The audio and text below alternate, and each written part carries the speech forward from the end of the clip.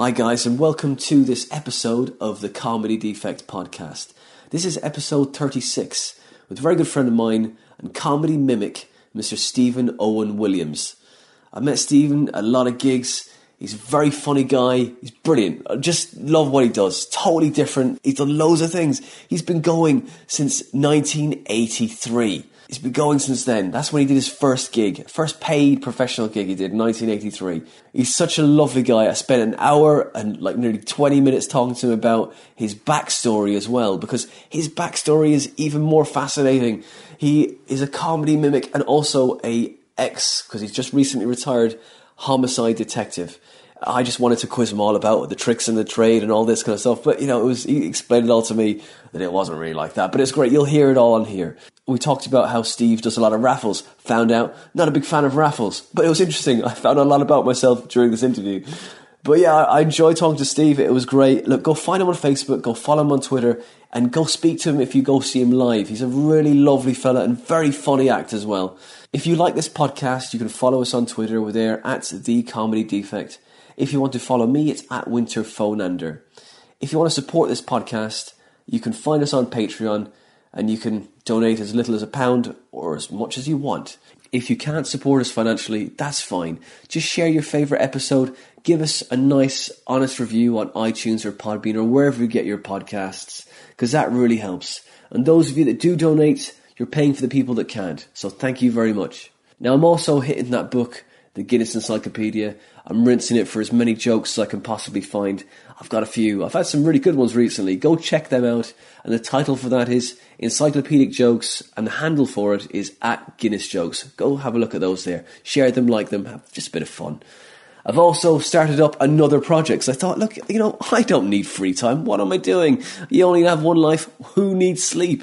I've started up something with a friend of mine called Phil Alcott called the Bunkai Bunker, where we just mess about. We, we just gonna have some fun with it. That, just check that out on Facebook. There's a page there. Go like it. You'll see some videos coming up very soon.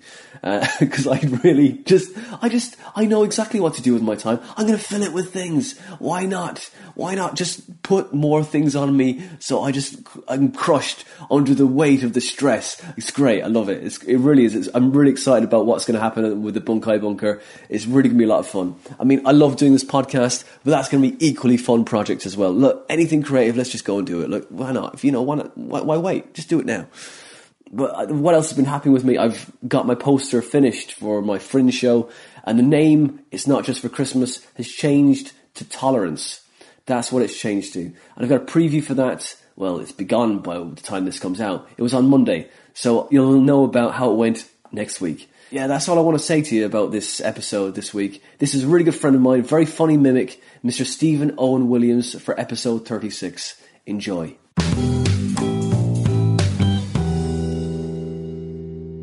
Steve Owen Williams, welcome to the Comedy Defect. How you doing, man? You right? I'm good, thanks, Winter. Yes, I'm. Uh, I'm a little bit in awe of the shed envy. I've got a bit of shed envy at nearly fifty.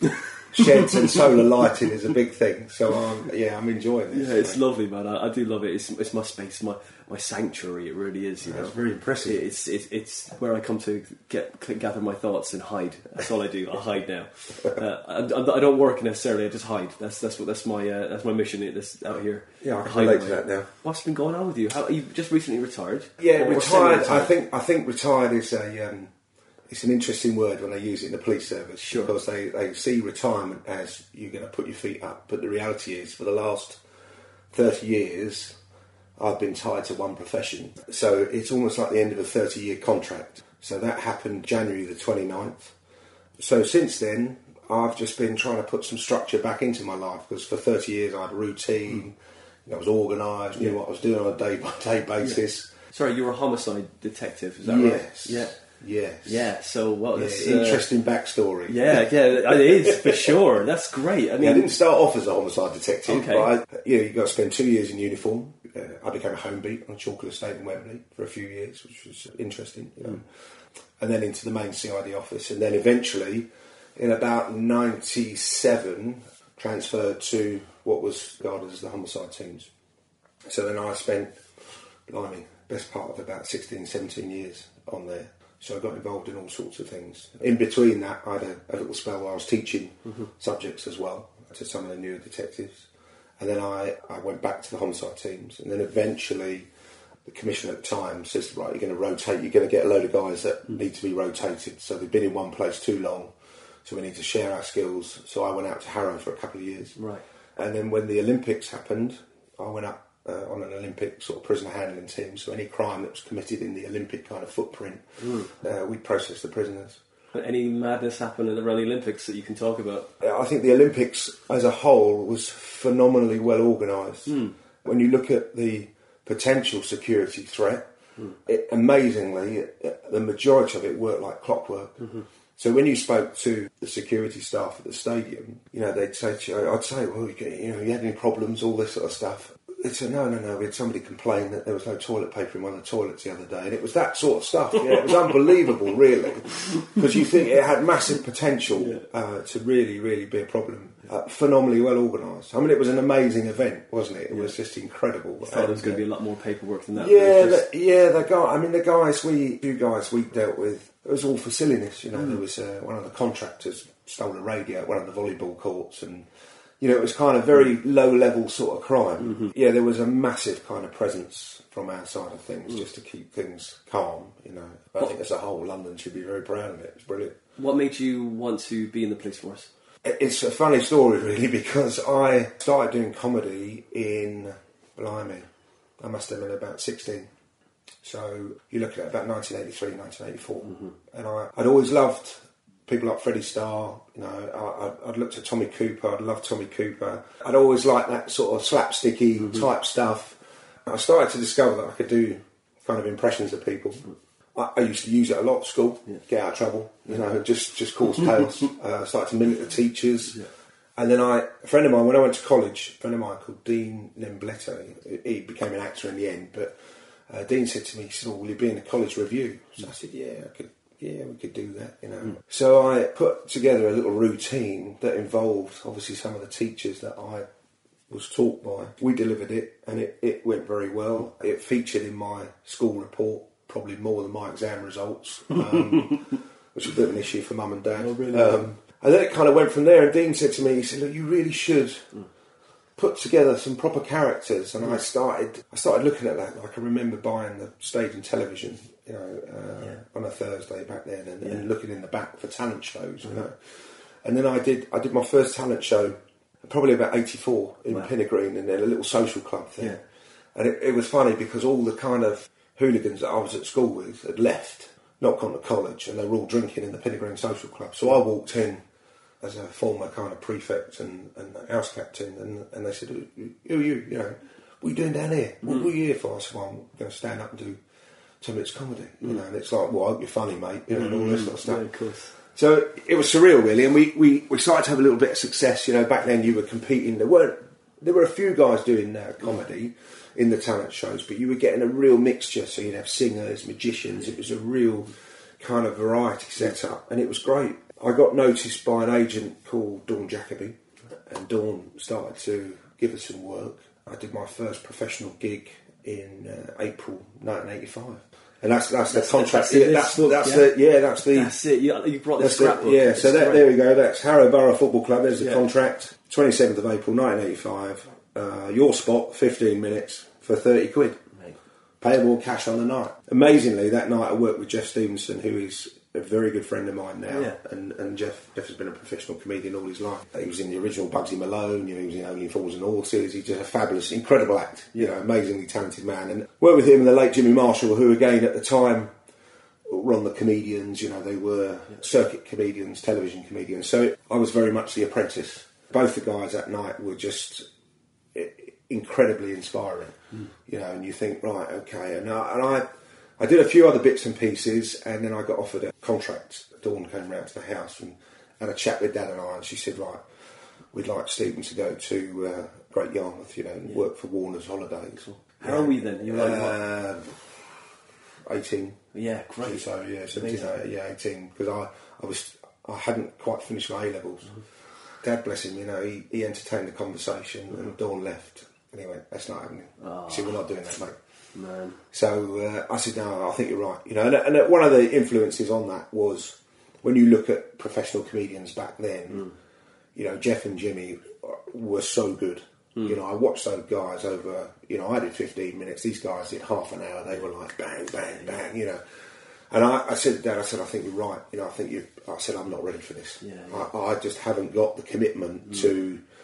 You know, how do you get to that level? You know, I just couldn't imagine. Yeah, you can't where, see the, the, no. the path, can you? because no. you like, get there, but you don't like. Well, how do I jump get from this place where I am to there? And there wasn't yeah. there wasn't really the, the setup to do that. You know, yeah. lots of these little social clubs, mm. but you kind of needed to be in a showcase or yeah. a talent show, or you had to have an agent. Otherwise, there was no real kind of open mic mm-hmm. sort of mm-hmm. situation going on. So it was tricky. Uh, you know, I had to have a reality check and mm. say, look it coincided with me just I just started to play rugby as well, and I really, really, really got, got got on with that and enjoyed that. A combination of things led to me looking around job wise uh, when I finished the A levels. The police service at the time it was police, army, mm-hmm. ambulance, banks. You know, they were you know the, the standard sort of career interview mm-hmm. thing, and I thought, hmm.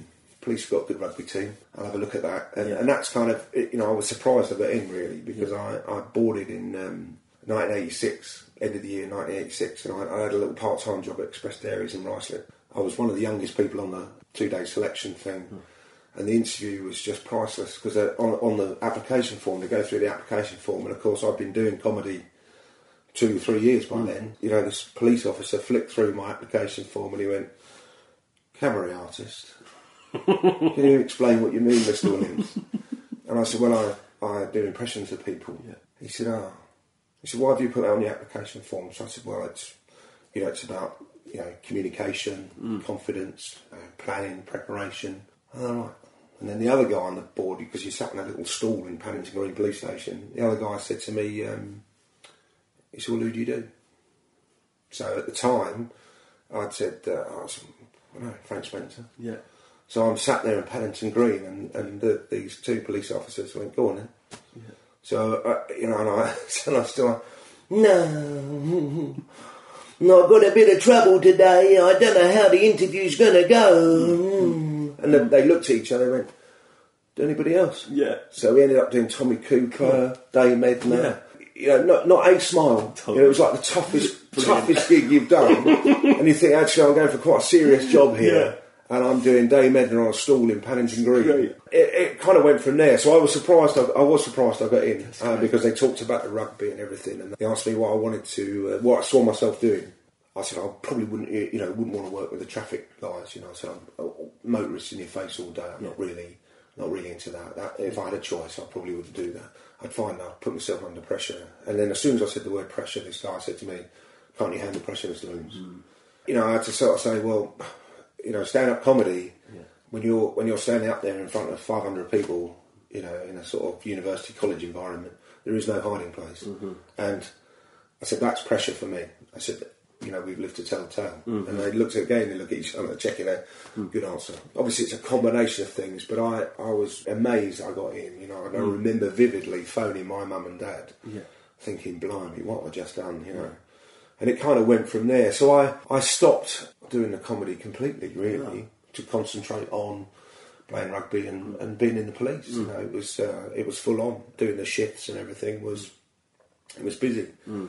And there was only I think it was about ninety seven. I'd done a few little bits at leaving speeches and bits and pieces, and about 96, 97, I was married. I got divorced, and I had a bit of time on my hands, and I bought a copy of the Stage and Television, and I thought I'll just have a look at this, mm-hmm. just have a little look there was uh, in the back of that there was a competition up in the Midlands. It was a Land Rover Social Club, which was a mm. you know big social club at the time, and Austin Rover were doing these talent shows.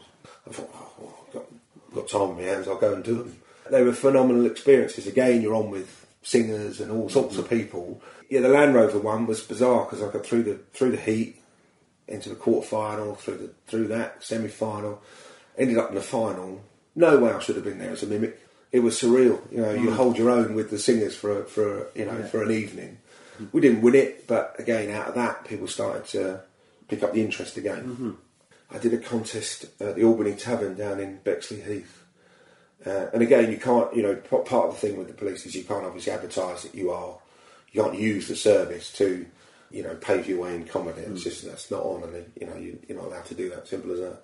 But because it was all just sporadic, it, it needed to be registered properly. And again, you're not, you know, you're not getting paid for it. I did a contest in Bexley Heath, and Gary Bushell was was judging it, the mm. TV critic, ironically, who his son's in the in the police service now.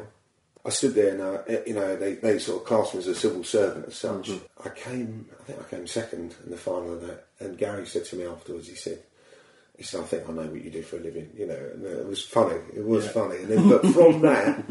Uh, the guy booked me for a wedding. I got on with Showaddywaddy. I warmed up mm. for Showaddywaddy. If mm-hmm. you remember Showaddywaddy right. back in the day, yeah. a rock and roll band. I had to register it with the police. Oh. I put all the forms in. Spoke to my boss. Yeah. I spoke to the bigger boss, wow. and I said, "Look, you know, this is this is what I'm doing. Can mm. I do it? Can't I do it? I'm in your hands." Mm-hmm.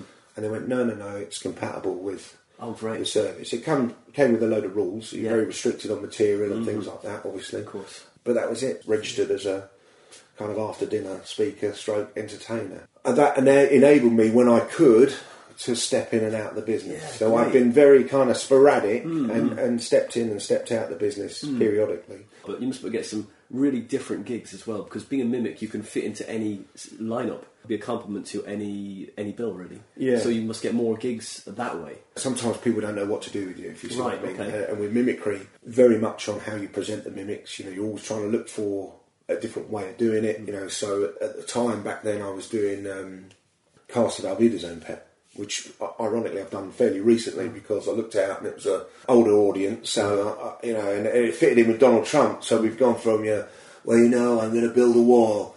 And I'm going to get these guys to do it, you know. So, uh, and all right, you know, right, lads, right. Let's let's have a look at this wall, you know. So we start doing Barry from Auf Wiedersehen. Mm-hmm and people start picking it up, and then you move to like uh, Oz, you know, oh, it's all right for you, Barry, uh, and and so those voices start to come back again. Mm. You know, with a little bit of practice, mm.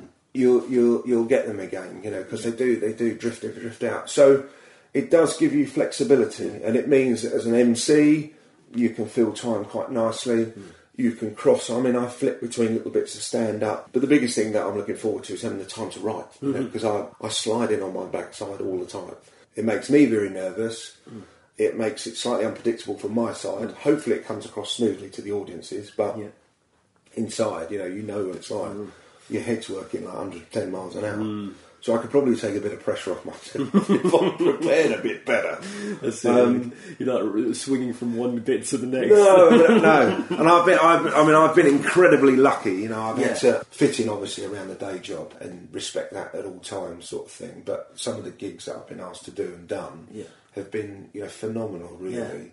And, and a lot of it is because I think you know if you've got the right attitude, if you know I always work with people. If I'm nice to them, hopefully they'll be nice to me. Exactly. And I keep it very simple. Mm-hmm. You know, we just worked on recommendation for the last thirty years. Great. Which has caused me a few issues now because I've got to catch up with the technology side mm. of it. You know, I've got to work out how to operate a camera mm. and download a video stuff.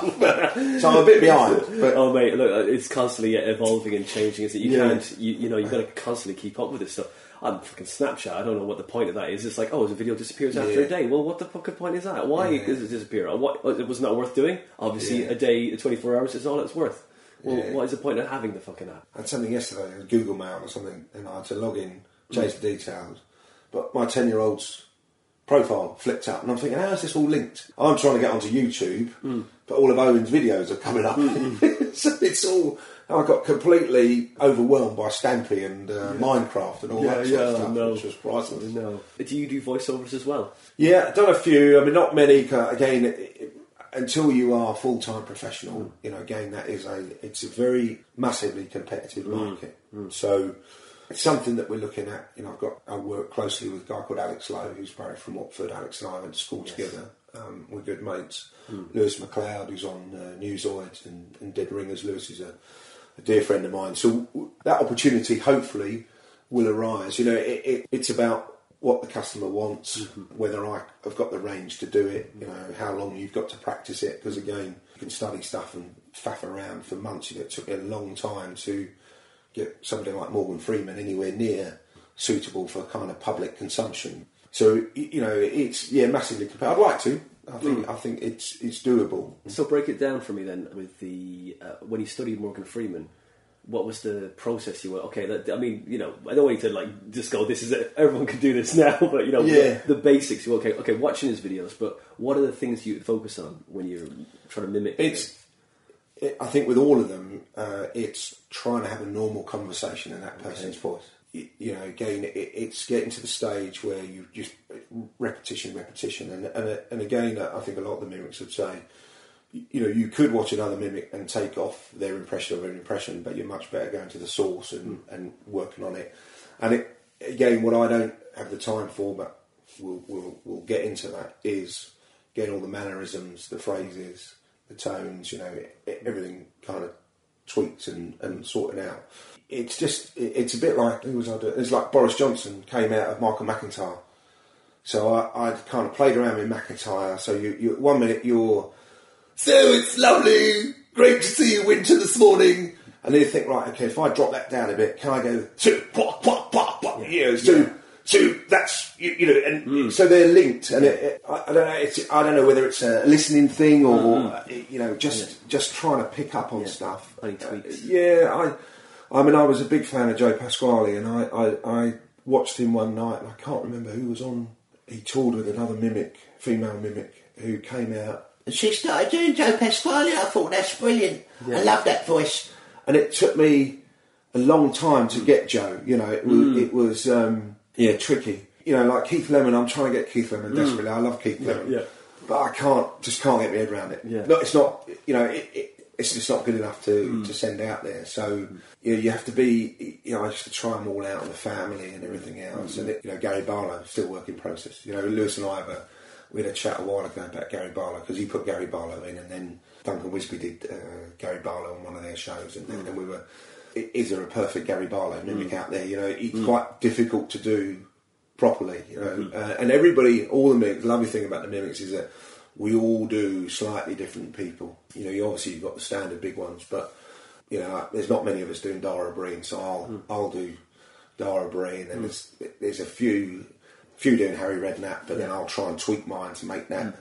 more noticeable, and, and, you know, so it, when we get together as mimics, it's it's pretty chaotic. Um, you know, yeah, Lewis came. who to- said that yeah, Lewis, Lewis came to the retirement do um, Yeah. the other week that I had, and, and uh, I started to. I just did a tiny little bit of Boris, Yeah. and then he fired up. Great. and you know, so it's, It's like the banter is, Yeah, is good. You know, it's, it's great. It's magic. that's a lot of fun yeah, for sure magic. with your with your mimic set do you you put it in certain situations you set up or do you just like go with the impression which you like to make? How do you do I think if you can, you know, the uh, key thing is to, is like I said, to try and present them in a certain way. It's easier said than done sometimes. Like the other night, uh, you got limited time. You only got 10, 10 minutes or so. So I put a load of props in a carry bag, and I, I said to the audience, I said, right, I'm going to empower you now to take over my act. I said, this is the lucky, lucky dip of mimicry. So I've got an audience member just pulls out, you know, they pulled out a wig. So I said, okay, right, well, let's, you know, and with the wig goes a hat. Start, I said, start humming the, the American national anthem. So they, the whole audience, you know, just start, and then we put the gear on, and then we go into a trump and into a Boris, and then Yeah. right, who wants another go? Right, so then somebody pulled out. They pulled out. I think uh, I do some stuff about uh, Mrs. Williams and her, and her skin products and things. So then I said, right, we're going to flip over to a bit of stand up now. So we do a little bit of that. So it was different. It was good fun. I think uh, I've done stuff where we'd put all the uh, load of characters in the Big Brother house. So you'd have people bickering around stuff and things like that. Mm-hmm. I write some stuff at the moment around Donald Trump mm. and Morgan Freeman. They're going to appear together very soon. Mm-hmm. So it's still work in progress. The Mock the Week stuff goes well. Yeah. You know, when you've got Dara O'Briain, you've seen that. When Yeah. with Dara O'Briain introduces, you know, you can get in McIntyre, Alan Carr, mm. Flanagan, Milton Jones, mm. Andy Parsons, you know, Rhod Gilbert, whoever, you, you know, you can play about with it and swap it around. But it, it, needs, you know, again, it needs tweaking and tweaking and mm. tweaking to mm. keep it going. Um, the footballers, the sports personalities that come in, I mean, Claudio Ranieri was a godsend with Leicester winning the league, you know, mm-hmm. and, and I looked at Claudio and I thought, well, what, what does he actually say? Mm. And what comes across is that he's just a lovely man. He seems like a lovely man. So I wanted that to come out in the mimic, and but then also it was kind of his just constant kind of disbelief that he was top of the table, and I thought, right, I need to highlight that. So when we did Claudio, it was uh, well, uh, no, he's uh, well. Uh, oh, uh, and you do that for a minute. and People, you can see people laughing, so then you play on that a little bit more, and then you, you know, he dropped in. He said, "Well, he's crazy. I, I don't know, no, you know." So it, it just builds on that, and then you you can you know swap it around. Jamie Carragher's got a great voice, you know, big big uh, kind of broad Scouse accent can take control, and then but the uh, the, the spin off of that is that you've got Carragher will take over the studio, and you've got Gary Neville who's got a lot better, bless him. Um, but Gary's kind of I portrayed Gary as kind of being quite shy and sheepish. So it'd be you go nobody wants to be Gary Neville, do they? Nobody wants to be Gary Neville, and then you'd have I, I am Gary Neville, and, and then we we do that sort of stuff. And Harry, I mean Harry, because I'm a QPR fan, Harry being down there was just magical, and I just loved that. You know, he was one that I really wanted to get. You know, well, you know, we tried, we tried so hard. You know, they, they the lads were great today. You know, great character to do. You know, you fill in. sure, It don't matter who you support. You know, everybody knows Harry. You know, he's tremendous. You know, terrific. You know, so he was. He's a lovely, again, a lovely voice to do. Yeah. But yeah, you got all these things going on in your head. It's mad. yeah, beware the voices. Huh? Yeah, yeah, yeah, yeah. Which voice? Oh, I'm schizophrenic, so am I. all of them. Yeah. All these guys in my head. Yeah. It's mad. I should have probably done a bit better at school. Okay, what voice are you thinking? What, what's the voice that you thinking the most? Do you know I drift in and drift out because I. I- Is there one that always got uh, like when you're doing a certain thing? Is there one that always just pops like driving a car? Is there one that pops? Do you know what? I was changing. Uh, I was changing the water filter on the, on the fridge the other day. Uh, a typical bloke. I thought, right, I'll just cut a corner here. I won't go down to the shed and get my toolbox out. I'll just get a knife out and I'll cut the pipe, and it'll be all right. And I'll, but I'll isolate the pipe using another knife. Uh, not a screwdriver, so I- I've twisted the isolation valve. It hasn't quite got to the end. no. And I've gone like this, and water is like going all over the kitchen. I got my, my wife and my mother-in-law are sat there, and she's gone, "What are you doing?" And it, because it's a coping strategy, the whole thing. Yeah. I've gone. Don't worry, it's all right. Don't worry, we can get it sorted out. I'll go and get my hammer from the garage. And it, so you f- fall into whichever's appropriate, you know, the mimic at the time. You fire them out wherever they come in. You know. That's like Frank Spencer is the is the, the first aid kit. All right, Oh, there's, there's, it, there's sort of say brilliant. everything. Yeah, I mean, brilliant. yeah. And it's again, again when you when you want to get control of an audience, I tend to default to Ali G or Borat, Oh, yeah, right. somebody like that. Yeah. You know. It's a nice, for me like it. Hmm. So you, you you know you, you, you get a louder voice Yeah. out to just get everybody to. That's it. It doesn't Big always energy. work. Yeah, it. yeah, Yeah, yeah, yeah, yeah. That's So you, you have that kind of flexibility, and then there'll be other mimics where you, you, you want really people to listen. So like somebody like Bob Geldof, Mm-hmm. you know, it's kind of like nice to see you here tonight, Winter. Mm. You want people to get the Dublin side of it out, you know. Mm. So you know you can use them. They're very flexible. Yeah, I say what I asked you before as well. Do you uh, before we st- we start recording? Do you remember your first set? Yes. Yeah, I do. Yeah, I did. It was probably the college revue one. Uh, was the first kind of structure that I put in. I probably did. It did about five minutes first off, and then I was uh, I came on as different characters, doing you know Tommy Cooper and stuff like that. Yeah, back then. I probably got I probably got stuff written down, uh, and like I said, I mean, if I if I review those cassette tapes properly, you know, I, I mean, I cringe at some of the some of the stuff that I used to do. You know, it was just it, it, I've taken many many chances, but it, it seemed to have an appeal for people. You know, it seemed to. I it, you know I can remember I did I did that, that testimonial gig for Craig Dowd, and that was for me that was the biggest gig I'd ever done. You know, it was uh, 400 people in the Kensington Garden Hotel. Uh, they were all paying 170 pound a ticket. You know, it was a massive. And I, I got that on the back of doing some stuff with Wasps. As a Wasps fan, they, they got us involved doing some charity stuff. Did a few. We organised these curry nights for some of the senior players, and it was a bit of a sort of testimony. It was, and it was a bit more affordable for everybody because, you know, some of these corporate events, people, you know, real supporters, we just can't get near it. It's ridiculous. And then Craig said to me, he said, I'd like you to do my. He said, I've got a gig for you. That's how it came across. I said, okay, mate. Uh, what do you want? He said, well, there's a website on it. He said, have a look at the website, see what you think. So I log on. It's got Craig Dowd testimonial, you know. I said, Craig, it's about my league, mate. He said, no, no, no, you'll be all right. You'll be all right, you know. It was just a surreal, you know, huge challenge, huge challenge because you're doing 15 minutes. Um, I, I walked into that room, you're just part of the team that's going on. Uh, I said to my dad at the time, I said, I can't believe this. You know, I said, I've just picked up the Heineken Cup and the Zurich Premiership trophy, and I've just carried them down polished them a bit, and put them there. I said, you're just part of this machine, this hmm. corporate machine that goes on. The toughest part of the night was dealing with some of the people that, that I get introduced to because hmm. immediately they know that you're the comedian, you're like the comedy turn. And, and, and somebody said to me, that again unnerved me a bit. They said, Oh, I'm looking forward to this. You know, we were at Rob Howley's testimonial last week. They had Rory Bremner on. And you hmm. think, do you know what I mean? I, I, I'm like late turn tomorrow, and I'm, I'm, I'm going to be taking statements somewhere. And it was like, and it was very surreal. Um, but it, you know, you, you sometimes you need you need nuts of steel with these things. And but ironically, there were some bits in that set that I'd done in my first ever set as well. You know that you know you just know that works everywhere. And you've you know you, you walk out there, you've got the current England team and the current New Zealand team in the audience as well. I'd met Jonah Lomu, I'd met Martin John. All these people were kind of willing you to do well, mm. but you've got to get used to the fact that the reality is probably only 200 people really want to listen to you.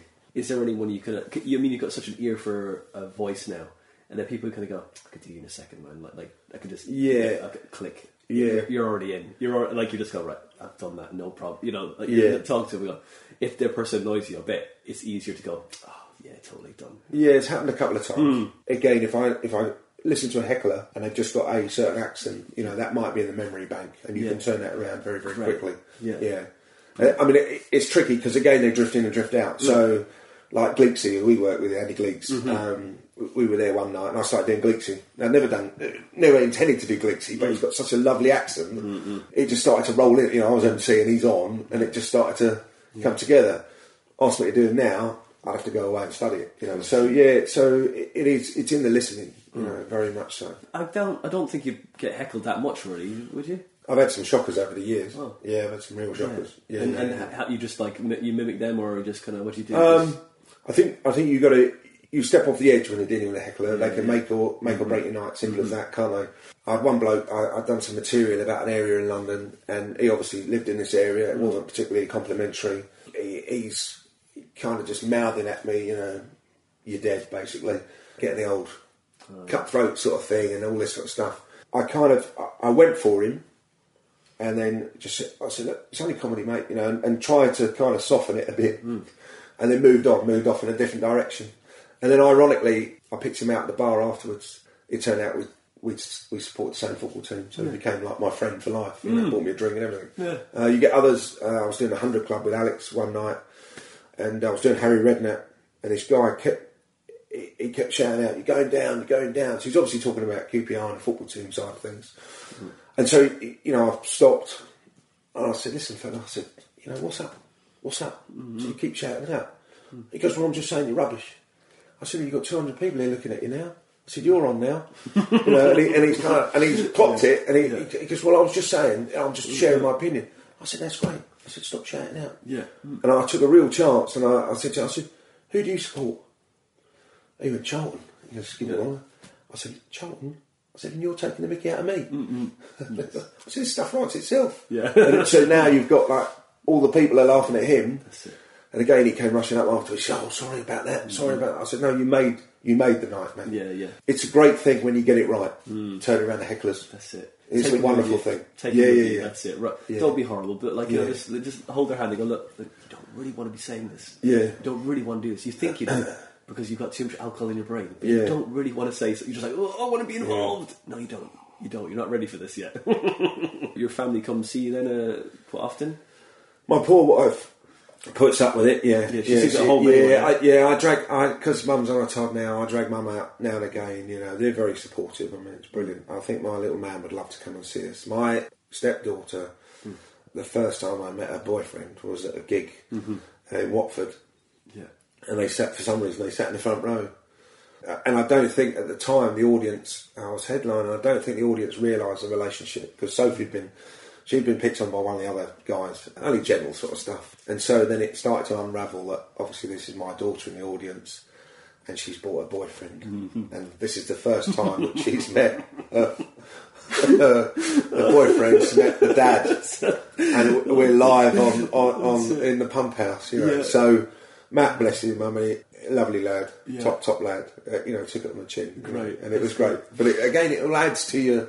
It adds to your thing, doesn't it? So- That's pressure. I mean, I mean, really, the pressure's off you. It's all on him, isn't it? Really, the pressure's on, on him. Yeah, it was. He's gonna be like, oh Yeah, yeah, so, yeah, you yeah. you got, you got, you got um, free reign to, to say anything to him at Yeah. that moment. I bet he just like, oh no, this is this is not how I Yeah. envisioned this. But again, if you keep it friendly, keep it engaging, I think you, you can get away with murder, can't you? Literally, you know, That's true, it's, yeah. it's fine. Uh, you should know about that. yeah, yeah. I, tur- I turned out, Britain's Got Talent phoned me up the other week. They were obviously phoning round all the acts. One of the other lads had spoke to him about me. They told him my kind of backstory. And so this guy was, they're very, you know, he said, oh, we love the mimics on the show and your backstory, you know. And I said, look, I'll be very upfront with you. I said, over the years, I've worked on an awful lot of very serious cases, and there are people I've put, you know, been part of a team that's put them away for a long, long time. Mm-hmm. I said, I don't think it's fair on the victims. I don't think it's fair on the families I've worked with. Don't think it's fair on the on the on the suspects themselves. You know, you know that's the reality of it. You, Yeah. you, you know, you can't. You have to have some sort of respect for that. And- I mean, how do you go on? Like you go, oh, like imagine the video. Oh, this is Steve Owen Williams. He's worked on all these cases. Yeah. You can't, you Yeah, can't yeah, have that yeah. up on the screen. They're going. They're audience just going. he was my family liaison officer. Yeah, yeah. That's going to be a very, a very inadequate amount of applause. They're going to be so shocked. Well- they're going, "What? Okay, great. Who's a Yeah. so he's a homicide detective?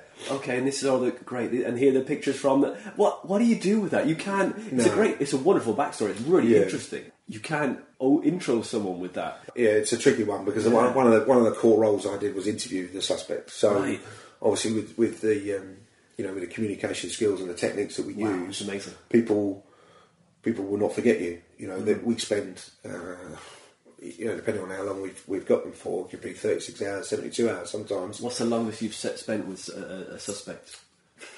We used to get like three day laydowns, so we would bring them out of prison, work with them, depending on what the, the nature of the job was. So, I I mean, interview wise, you'd probably only want to talk to somebody 30 minutes, 40 minutes max mm-hmm. at, at, a, at a time. So it's very structured. You know, we've got a, obviously we've got a plan. It's a lot to do with kind of empowering the suspect to listen and, and feel part of the process. If they're going to talk to you, if, if they're not going to, if, you know, if it's a no comment situation, we've got to really default back to the planning so that we make sure that we cover every kind of opportunity they might have 10 months' time in the Old Bailey. Uh, when the barrister says, well, you know, explain what happened there, at least we've asked the question. The fact they haven't answered it doesn't really matter. It's, you know, it's about the thoroughness of the investigation. Um, and I loved all that. I, I, you know, I was fascinated by that. Yeah, it's, it, I mean, it sounds fascinating. It's like it's how to because you want to get the most information out of them, so the process can be expedient later on. There must be an awful lot of NLP in it as well, and other little tricks that you can. Like, I mean, not, not tricks, but like systems or or uh, Uh, techniques. do you know what? It, it's there? funny because people ask that. It, Yeah, it, it, it really is. It's a lot simpler than people imagine. Right. Because if you think about it, and, and you know the way the police are often portrayed on EastEnders or wherever it is, Good cop, bad cop sort of thing. it, it's very much it's all about them. Hmm. Now, if you make it all about the person that you are interviewing and you want to listen to them, to to have the kind of respect to give them a chance to say something, actually, you know, you're drawing all that information. It's clever how the dynamics work. Mm. If they're going to talk to you, you know, if somebody doesn't want to talk to you, they don't want to talk to you, and and you could have every psychologist, every technique in the book, mm. you know, either from legal advice or, or they're just determined not to talk to you. They ain't going to talk to you, mm-hmm. and they'll worry about it in, in court, and they'll wait and see what evidence comes in, mm. you know, and, and they'll they'll have a chance to formulate some sort of defence around that. So I, I think I think it was a massive, you know, it's a massive culture change for the police service in in actually treating people properly, and, and, and that ability to listen is really really important hmm. because again, a lot of the times you find certainly in the stuff that we were doing, the evidence would speak for itself, but you still, out of fairness, you need to give people an opportunity to explain stuff, mm-hmm. and that's all you're kind of doing. So there was no all this, uh, you know, the sort of oppression stuff and things like that. That's like archaic, you know. Hmm. The majority of people I certainly spoke to, we let the evidence do the work, and also, you know, in terms of challenging people, yes, we we've got duty to put, if, uh, you know, evidence to them, but actually the barristers take on all that at court. So as long as we've done our side of it thoroughly, what they do next is, you know, that that's the cup final really, and, and you've it's about not having, you know, if you if you've got a massive ego, you're not going to be particularly great uh, interviewer because you're going to make it all about yourself mm-hmm. and not about them. Exactly. Um, so it's an interesting dynamic. It's because I mean, as you say, we've all sort of like been brainwashed by these cop shows, as you said, and yeah. all like, and all those people in those cop shows are actors. And it's yeah. all about them, isn't it? It's like, yeah. you know, like, hey, you know, oh, what are you doing? Oh, and they're like, do you want a cup of coffee? Take the coffee away. And it's like all these yeah. power games, and it's so, so like not like that. Because as you say, you want to, you want to treat them as a human being, and, and therefore go, look, what happened? What's the story? What, what, what happened here? Man, look, you know, if you, if as I say, if they want to give that information up, you've got to treat them like they're, you know, like, like you're. Look, I'm just here to take the information down. If you don't want to give it to me, that's how it is. It's like that with any interview, I guess, really, isn't it? Like, yeah, it is. You know, like with, I mean, look at. Um, some of the great interviewers, like you've got like um, Parky, isn't it? You know, you're yeah. just like you're just like, all right, look, you know, yeah. what you want to tell me? You know, that's it. Yeah. Simple stuff. This paranoia that people have now. Oh, how do you how do you work the information out of the person? Oh, yeah, you, yeah. sort of NLP thing. All right, you mimic their, uh, or no, you don't, or you just copy their uh, their body language and oh yeah, you make them feel relaxed. You mirror them. Okay, fine. A, a, tiny bit of that, I guess, as well to make people feel relaxed. It's a combination of things. Mm, you know, we, we uh, I mean, at the, the, end of my career, I was teaching it, so yeah, we right. were teaching the specialist interview course, and we get a psychologist in on the last day, mm-hmm. and people say, "Oh, we could have done with him mm-hmm. right at the start." You know, that would have made a real difference. But it, the the danger is then is that everybody would try and be that psychologist, of course, and and your cops, you can't. Mm-hmm. You know, that, we're working with different you know, we've got different techniques, different methods. Mm. It's useful. Don't get me wrong, it's useful. And, it, and it, some of the offenders we've interviewed, it's given us an opportunity to maybe come at a different angle. Mm. But it's not necessarily going to solve the case for you. Mm-hmm. So you, you've got to have all the resources kind of lined up and try and be flexible, you know. So it might be that you start off interviewing somebody and they, they don't really want to be interviewed by a lady or they don't want to be interviewed with a man. Mm. So we'd have to change the tactic around there because the second interviewers don't really talk at all now uh, until they get asked to talk. So it might be that we have to swap the teams over a little bit, things mm. like that. So you're continually trying to find the best options. Mm. But it, it is interesting how we're kind of portrayed. Mm. But it's television, so you need course, yeah. you need that impact. You've got a chance to grab an audience. I, I, I, suppose over the years I was got a little bit frustrated that the service doesn't come and go. Actually, this is what we do, and yeah. this is this is how we do it. You know, mm. and and I think we've missed out on the openness and transparency a bit. You know, because again, you get you're in the constantly in the media mm. and making mistakes. That's mm. what people love. You know, they love. Uh, but there's actually lots of good stuff going on as well. Mm. And it's interesting when you talk to community groups and things, and you actually start to, you know, speak to them and, and explore their experiences. Some of them have had shocking experiences, mm. but some of them are actually quite supportive. So it's a real, mm.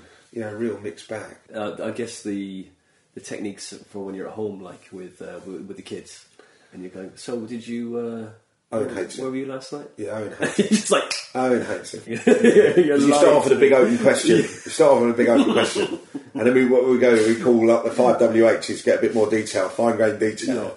Yeah. And Owen will look at me and he'll, he'll, do it for about two minutes. He'll go, Dad, I know what you're doing. it's like, all right, mate. Okay. So yeah, yeah, that's great. Yeah, it's funny. That's funny. Yeah, these little techniques. The kids are great to practice on. I mean, you know, they are they, they are magical to, mm. to practice on. The stuff that you can extract, you know, yeah. and, and, it's at the most unusual times. You know, you'll just sometimes you you you know sit in the bath and I have a chat with him, and he mm. and he just pours out his whole day on the back of one question with yeah. and I love all that. It's great.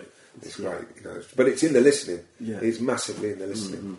My uh, my stepdad was a, uh, a policeman for 25 years, and uh, yeah, it was like I could never get anything around around him at all. You know, it was just like okay, like the kind of the same sort of thing. You know, you just like ask you a question like, like, oh no, did you do this? Like, oh, well, I just have to tell the truth. I can't, I can't possibly Yeah. give any false Yeah. statement whatsoever. The, like the you should really see the set you had when you were younger. And maybe Yeah. the stuff you do now, and like this is what I do now, or was that would that be like you giving it Yeah, away? I think again, for me, it's getting the technology right, and, and I think there's. I'll, I'll have a look at it, see if there's a spot. Hmm. I mean, I've started to, um, I've started to combine some of the policey stuff now, some of the Yeah. funnier stories Yeah, uh, yeah. that you're allowed to kind of talk about now, and That's uh, you know, and that's that, I think people enjoy that. You know, I Hmm. did I did a, uh, some stuff for Mike Lee again at Hundred Club, Hmm. and uh, Mike, I, I made a decision not to speak in my own voice. So I did the whole set, 15 minutes, bang, bang, bang, bang, bang, went through mimic, mimic, mimic. Come off, and Mike said to me, he said, "Oh mate," he said, "They, he said they wanted a bit of you, you know." And I, I said, "Okay, all right, I'll take it on board, mate." And then the next time I did it, I started to talk about.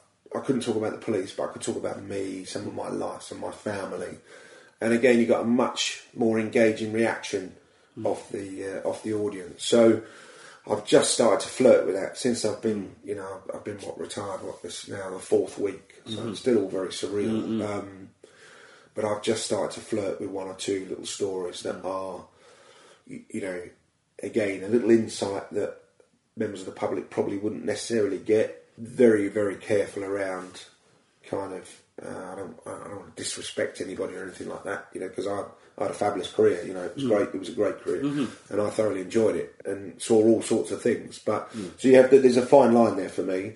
But there was a lot of funny stuff, and you, you'll see guys like Alfie Moore, you know, Martin Bayfield, who's, who's uh, you know does a lot of the corporates. He's got an advantage because he played rugby for England, mm. but he's also a lot of his stories are when he was in the police. Mm-hmm.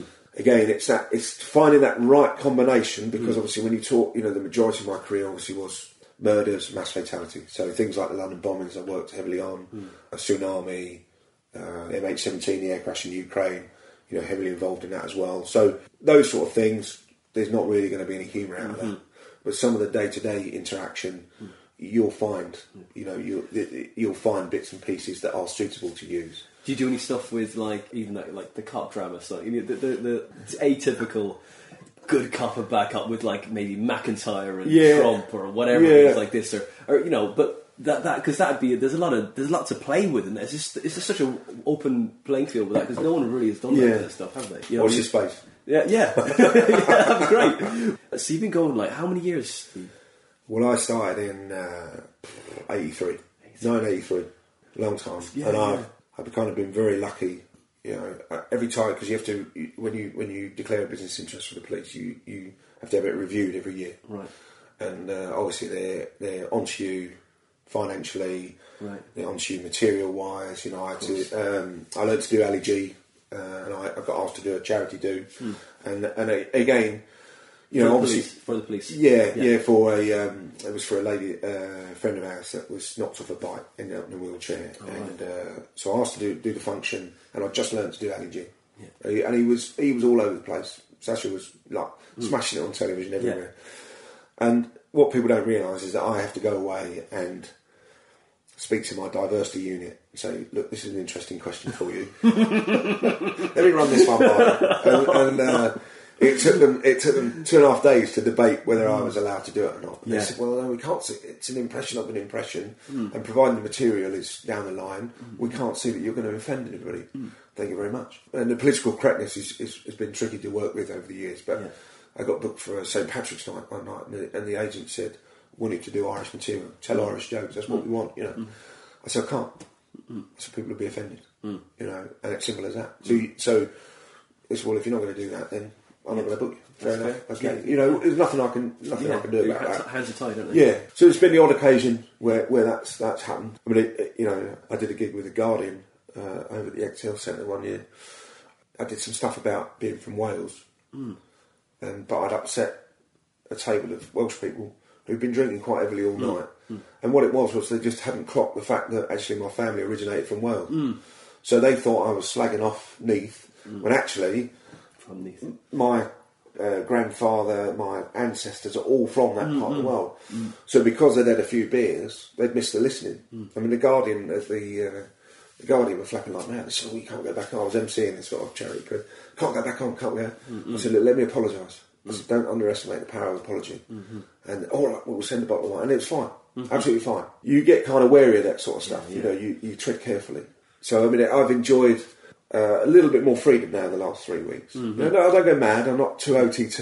It means that I can have gentle road rage now and stuff like that. Whereas before, I've never been able to do that. You know, I've been cut up by so many people, and I've gone. That's okay, fine. Yeah. don't worry about it. Broken so many steering Oh. wheels. Oh, I'm thinking about buying a vi- white van to Yeah. compete a bit more, so uh, just to fit in. So yeah, so it, it's taken a lot of pressure off that. So I'm just, I'm just at that process where I need to get more organised, rehearse a lot more, practice a lot more, down. Yeah. I've got some very good friends. You know, we're very lucky in this business because we're all pretty well supported. You know, and mm. I. I, I worked with Jeff Stevenson the other week, who is just a, a lovely, lovely man, and he's a great kind of mentor. You know, mm. Lewis is, is, is brilliant. Alex, they're all. We're very lucky that we're surrounded by some very decent people who are successful at what they do really well. Mm. And so, as a kind of amateur, sort of stepping in and out, it's been it, has been good. You know, I've been mm. very grateful for that sort of stuff. Obviously, it relies on you being funny, doesn't it? That's, that's the bottom line. That, that's true. I think I think funny is, is definitely the, a big part of it. Yeah. But the second part is equally important. I was talking to someone last night. I said, like, you know, you know, it's like you got to be careful, don't you? Because you got to be like, not that you're trying to force a, a, a amicable demeanor, but hopefully you are that anyway. Remember your face. Got say hello to people. Yeah. Don't be a dick. Yeah. Like, don't forget your manners, isn't it? You go, all right, yeah. I was going, all right, I'm going to do this bit in a second. Because otherwise they'll think, God, this person's a right dick. Because yeah. you want, you want, the, you, you want to be around these, you want the people to want to be around you as well as you know, be funny up on stage. Because otherwise you're like, well, this person, okay, they might be funny, but I don't really want to work with them because they've got no personality and I can't sit in a car for four hours with them to go to the thing because that's going to do my head in. And I just, you know, they better be the shit. They better be the top notch and yeah, the funniest person I've ever met, or the nicest person, but yet they're still funny. Yeah. You know, I mean, the whole thing fascinates me. The whole live entertainment fascinates yeah, me, and I, and I, think I've survived this long. Mm. I've, I've, kept my foot in the door since what 1983, and as a mimic, I think again you've got to move with the times. Mm. So if you can still kind of hold your own now. Mm you, you, must have something, but also I think you know again I just have good fun. Yeah, it's just great fun, and I think meeting different people all the time. The majority of comedians I've worked with and met mm. have been a good laugh. Mm. On and off stage, mm. you know, and I, have got massive respect for everybody that gets out there and, and, and has a go, you know. Mm. And I, I think, again, if mates of mine will say, "Well, how do we you know, I'm thinking about this. And it is a massive step up. It's a step up from being funny generally mm to actually standing out there. And, and I love the fact that when I, Pete G uh, from Having a Laugh gave me a few chances doing uh, bits and pieces um, when I was starting to really pick up a little bit of momentum. And I love the fact that there were so many people just starting it as a hobby. Mm. You know, and, and yet, you know, the market is massively saturated. But do you know what? You know, if you've got the talent you, you deserve to be, you know, people work so hard. Mm. And that, and again, I, I, say that in my, uh, you know, as a mimic, I just mess around. Mm. I'm terribly conscious that I just mess around. And I see people really, really grafting, mm. but I see people moving on, you know, and that, hmm. that's a lovely thing as hmm. well, is that I'm no expert at this. I've just been around a long time and um, seen a lot of things. And, and I'm looking forward to working hard at it now. Mm-hmm. But uh, to see people progress, I think, in our business mm-hmm. is wonderful. Uh, do you, did you do shift work up until you quit? Uh, the last few years I was teaching, so I, I taught um, uh, homicide family liaison. So when we work with bereaved families mm. at their kind of toughest times, teach the guys how to do that. Mm. I taught something called disaster victim identification. So okay. there's an ante-mortem side and a post-mortem side. So we teach the guys uh, to do all the mortuary stuff, and it's all about identification. So I taught that as well, and obviously the interviewing, specialist interviewing course. So for the last few years, I've done pretty much a kind of eight till four sort of situation, which was a nice, kind of nice way to finish off, really. But before that, certainly at Harrow, it was shifts, and, and the murder team was, you know, you react to what you're doing, really. So you could have some very you know, you'd have some very, very long days, mm. very, very long days. Mm. That helps with this as well when you're driving God knows how many hours to wherever it is. That it's fine. Just yeah. drive there. This is I've got this. It's done. You know, that yeah. no problem at all. I think sometimes when you when you've done a gig as well, that that adrenaline, mm. I find it really difficult to calm down afterwards because mm-hmm. I get so nervous before. And then afterwards, if it's gone, uh, you know, whether it's if it's not gone so well, mm. I'm kind of you spend like that process debriefing everything mm. in your head, you know, and, and, if it's gone well, you like you can't sleep. Mm-mm. So that three or four hour drive back from somewhere, actually, you know, my Emma says to me, she said, "Well, you should get a hotel or something," but I said, "No, no, it's all right, I'll be fine because you're like this, yeah. you know." So yeah, yeah, yeah, yeah. so it's funny, but I love, I, I love all that, you know. That's that's all part of it for me. So what's the next mission then? Are you learning the technology? The next mission is yeah, I've got to get a bit more switched on. Stu Turner, who we work with, Stu's, Stu's fantastic on the yeah. tech side. So he's, you know, I'm constantly looking looking for advice of him around it. Yeah. And I'll get there. I'll get there. He's great. For me, it's about putting some structure back in mm-hmm. to stuff, to polishing stuff off. really, to be able to deliver two or three different sets, mm.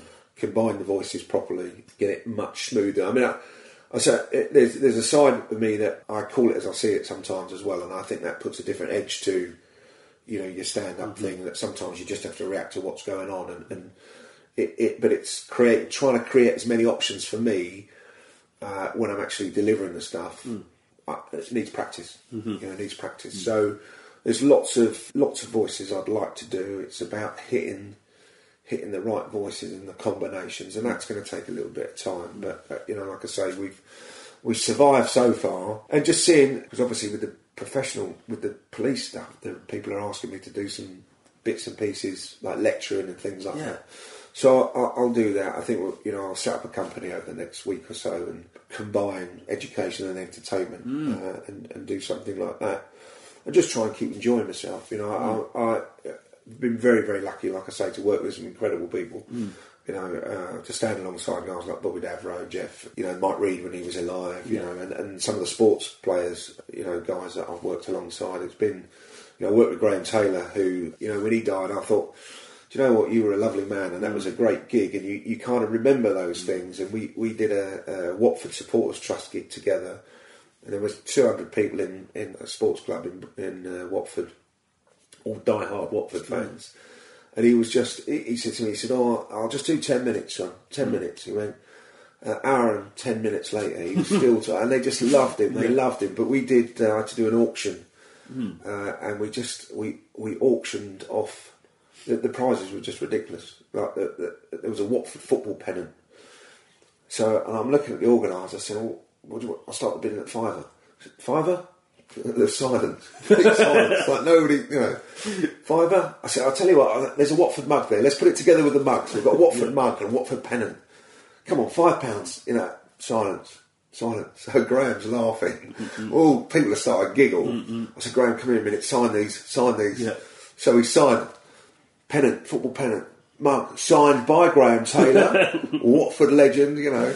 Yeah. I started bidding at hundred pounds, bang, bang, bang, off it went. Yeah. So it was great. So there, there were some classic moments. Mm. Improvising with stuff around you. So is that how you keep it? Because you can do like an, an, hour at least at this stage, can you? Probably forty-five minutes. Right. Yeah. Mm-hmm. Yeah. But I mean, like to keep it because you're mimicking two voices and things like that. Yeah. So to keep it alive and and, and, and buoyant you've got to like just got you know you, you just react and, and, and yeah, so, respond. So, yeah, certainly when you're auctioning, um, mm-hmm. you know I've done some big gigs where you have six or seven hundred people in the room, and yeah. I again my eyesight's not brilliant. I always forget my glasses, right. and I'm relying on like the support team yeah. with paddles and God knows what. People on the tables have had a drink; they don't play by the rules, so they just you know it's all like this. Yeah. So you you have to keep that spontaneous, and, mm-hmm. and you know I've watched I've watched. Um, a few of the auctioneers, you know, pro auctioneers, the atmosphere they create, and it's all to do with speed mm-hmm. and, and listening and vision, and mm-hmm. you know, so you try and combine that. You know, again, I'm no expert, but you know, there's pressure on me to make yeah. money for the charity. Cool. So yeah, you get the chance then to throw in bits and pieces, mm-hmm. and then what you're doing then is you're you're trying to create bidding wars between tables yeah, and all that. So it's all good fun. Yeah, it's, yeah. It's, I mean, it's chaos. Yeah, so you're, chaos. Like, you're, the catalyst for the banter to happen. You're, you're, basically the man that wants to f- to follow or be the raffle, aren't you? Really, I mean, like in that situation in the auctions and stuff. Yeah, I mean, because not every comedian's like neighbour's like, oh crap, I've got to follow a fucking raffle. Yeah, because then, yeah, because if, if, you're the person that doesn't do well at the raffle, yeah, they dr- sap all of the joy out of that room because they're like, oh, we don't, fucking, you know, they're like, oh, jeez, we want to go. Well, the raffle is at the end of the night. If the raffle's put in the middle, yeah. it's just like, what the hell? What the hell are you doing? They, are like the raffle's yeah. at the end. That's in everyone's head. Well, yeah. we should be going home after this raffle. We've got our prize. Why the fuck are we still here? But okay, right now that is not a question. you just don't like raffles. I just don't like raffles. I'm not a fan of raffles. I'm not a fan of raffles. Just gotta say, this has happened to me before. You're a little uh, bit bitter there. Uh, you, yeah, you haven't won one, did have you? Did you, notice that? Did you notice that? Oh, it's all coming back to me now. Oh, that's it. Yeah, I mean, I, I, I get asked to do uh, to arrange bits and pieces mm. in certain nights, and one of the things I always say to people, let's just have if you're going to auction, let's have just four items, yeah. and then if we're going to raffle, let's have six or seven nice prizes. Yeah, yeah. Um, and I've done raffles where there's been 40, 50 prizes. Yeah, and wow. and, and it, you've it, it, it's often you know it, it just it's comedy in itself, but it just kills. It does kill kill the night, Yeah. and uh, so it's, it's it's tricky because again with those I've done gigs where people people bring raffle prizes there, so even the organisers don't know. Uh, and you, what do you do? You can't turn people away. You think, thank you, it's for a charity. That's great. So you you kind of have to try and work around that a little bit, but. Um, keep it keep it fun. Try and keep it uh, Oh, keep it buoyant, yeah. as I say. But it's like, Yeah. what's the worst auction? What's the the worst price you've kind of gone? Oh come on, the Watford one is pretty up high up on there, right? The Watford thing, and then you start then yeah, Graham signed it. uh, you're like, oh, what is what are the auctions? It, it, funny enough, it was it was on the same gig, yeah, and it was a uh, it was a goalkeeper's glove, right. Right. Just one of them. one goalkeeper's glove, and it was uh, and it was signed by the Watford goalkeeper at the time, a guy called Steve Sherwood. But this glove would have fitted my son, so it was a tiny little goalkeeper's glove. He just got his signature on it. Yeah. It wasn't in a frame or anything, it, and, it, and I, I couldn't even put it on. Couldn't even put it on. And one of the girls that was doing walking around with the auction items, she said it like that, like just between two fingers. And so we just, oh, and, I, and I'm looking at Graham Taylor going, what do I do? You know.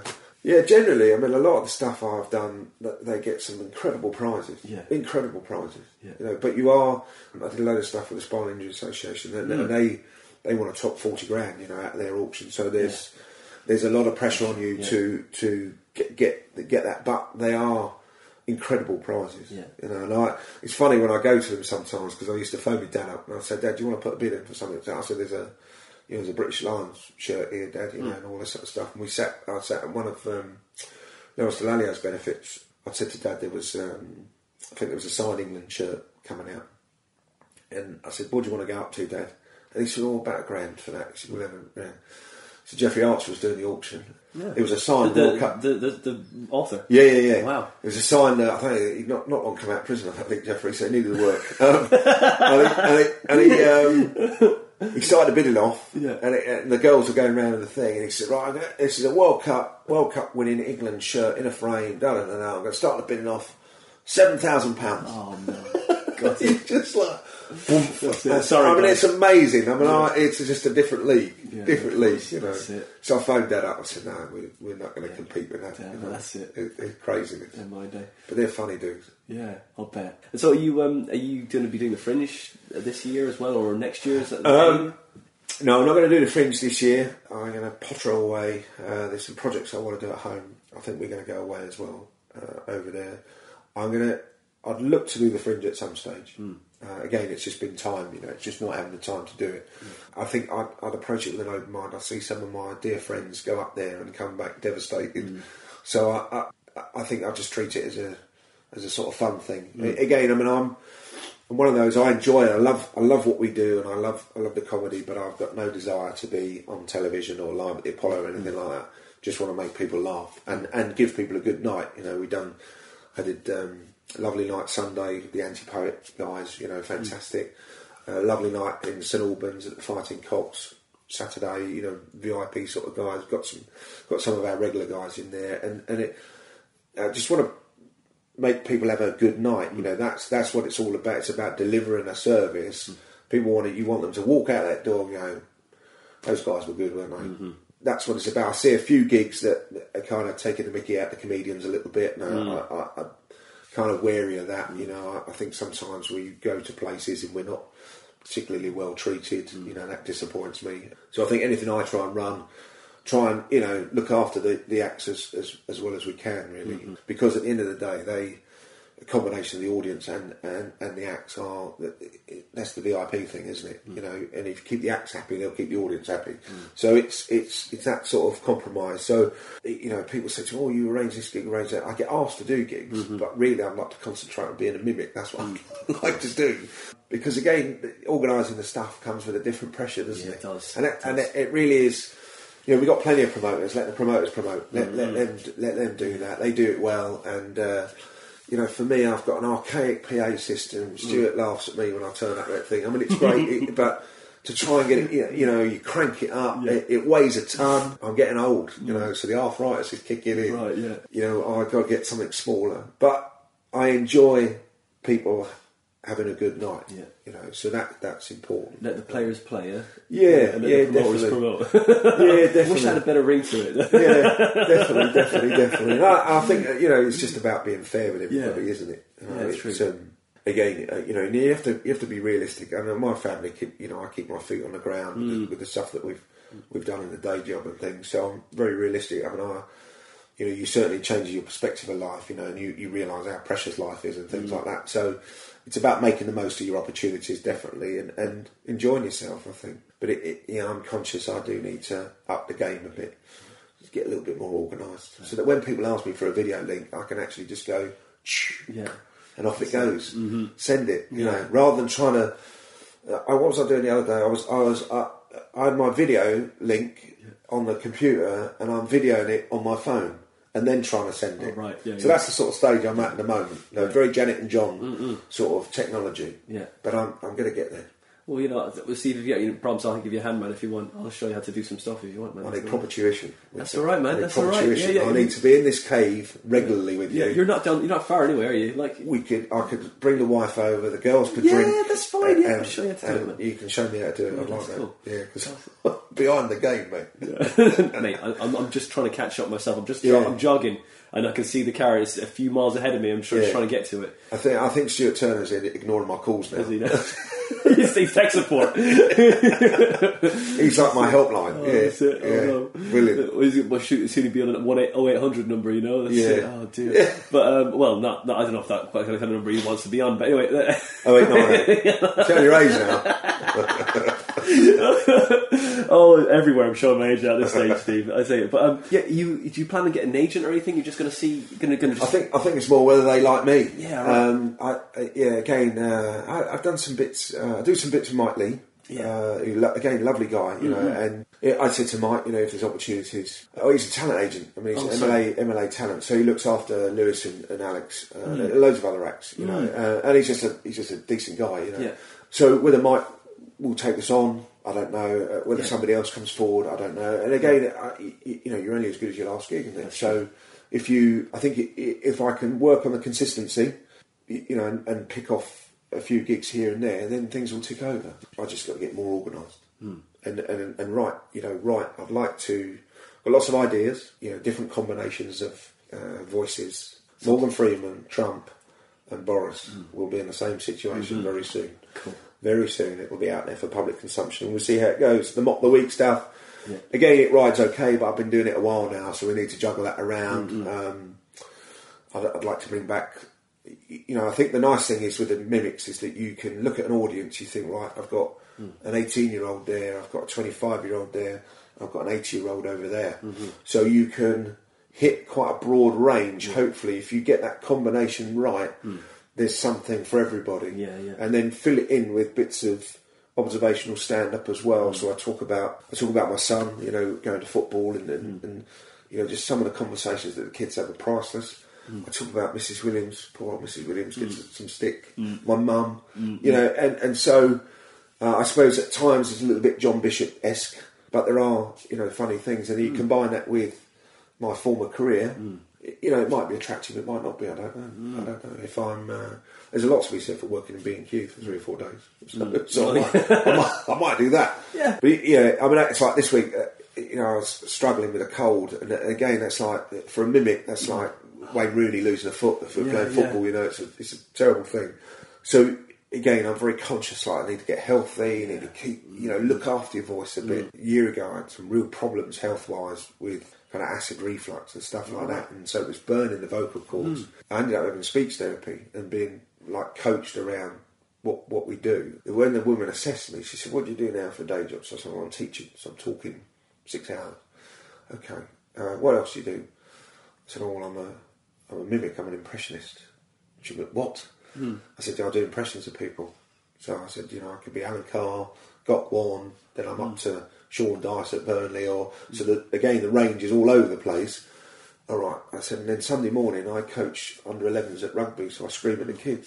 Yeah. So, in terms of using your voice, I was off the scale. So I've had to kind of think about that Yeah. and start really, really looking after it. And, and be, we all kind of, all the mimics Mm. get, get, you know, Louis said, uh, you know, he said, we've all had cameras down our throats. Oh yeah. things like that because it's it is you're trying to do things with your voice that Mm. it doesn't necessarily want to do. You know, I'm husky now because I'm on the back of a two gigs and a, and a cold, so.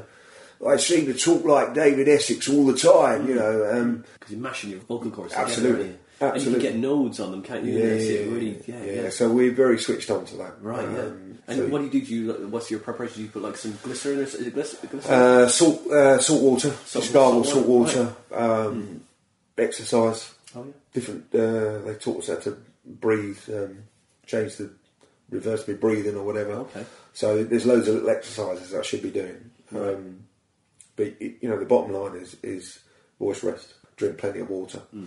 You know, if you want if you want to do the things you want to try and do with your voice and, and bend it all around the place. Yeah. um, which obviously I'm going to look to do that a bit more now. Yeah.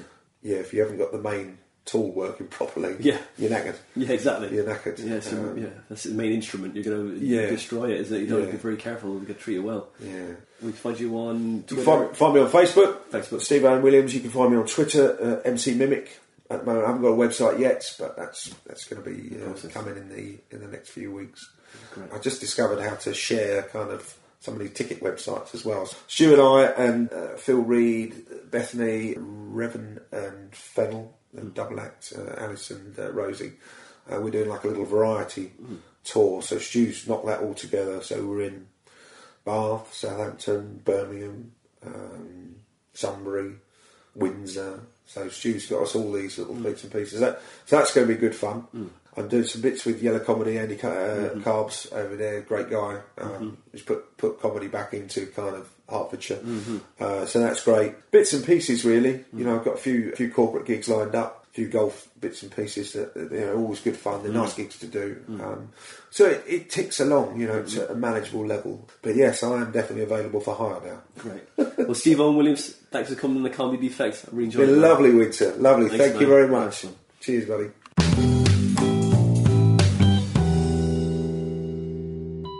And that was episode 36 with Stephen Owen Williams, comedy mimic. Really lovely guy. Go like his page, go find him on Facebook, Twitter, all those places. Go see him live, go talk to him. He's a lovely guy. He's always got time for people. Yeah, that was episode 36. If you like this podcast, you can follow us on Twitter. We're there at The Comedy Defect. You can follow me at Winter Phone Under. I've got some previews for my Fringe show coming up, and they are available on my website, which I'm getting redone very soon. And they'll be on there at winterphoneunder.com. The dates for my previews will be again on my website, which is winterphoneunder.com. So find them there and come see me work some stuff out. Some great stuff coming. The show is nearly in shape, some sort of semblance of a shape of a show. I'm really excited about it. It's going to be really a lot of fun to do. Yeah, the poster's done. You'll see that soon. It's on Facebook.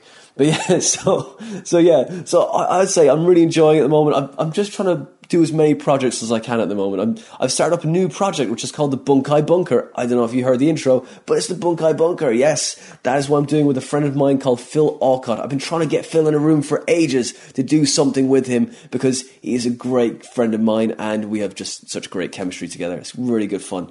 So I'm looking forward to messing about with that kind of stuff and we're going to do some more stuff. I say, look, who needs sleep? You can also check out the Guinness Encyclopedic jokes, which I'm writing at the moment. I'm getting through it, man. I'm on page 50 now. I'm doing all right. There's 700 pages, but that's quite a fair bit into it. I'm quite impressed with myself. So go find those encyclopedic jokes on Twitter at Guinness Jokes. Like them, share them, enjoy them. It's a bit of fun. If you want to donate to the podcast, you can. We're on Patreon. Go to Patreon, type in the Comedy Defect Podcast, and we're there. Donate if you can. If you can't, share your favourite episode, you know, or leave us a nice, honest review. And those of you that do donate, thank you very much for donating. It pays for the people that can't. Tell your friends about the podcast because it tells people where we are and what we're doing. Join the Facebook group, which is the Comedy Defect Podcast Facebook group. It's easy. join it, and you'll find out all of the stuff that's going on. That's it for this episode of the Comedy Defect podcast. We'll see you next week for episode 37 with Rob Kemp.